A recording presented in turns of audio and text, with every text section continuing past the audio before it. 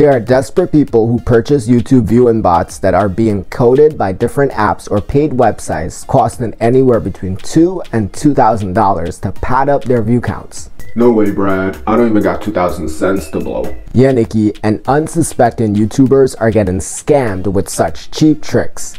YouTube has a view counting system which is more intelligent than bots and it can decipher a view that is being watched by a bot, a human being, or your pet.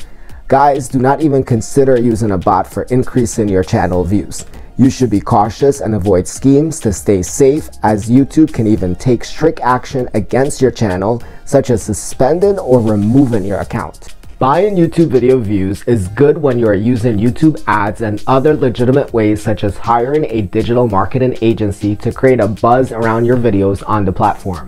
It is harmful when you're buying YouTube views for your videos from individual sellers because they may just be using bots to increase your channel views which the algorithm is gonna block anyway. To get legitimate YouTube views, make outstanding video content. You should focus on the quality of your videos and make sure you're providing exactly what your audience is asking for.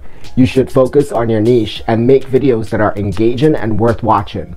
Give your viewers some surprises or comedy and you could also make informative or educational videos to make your audience stick with your channel long term.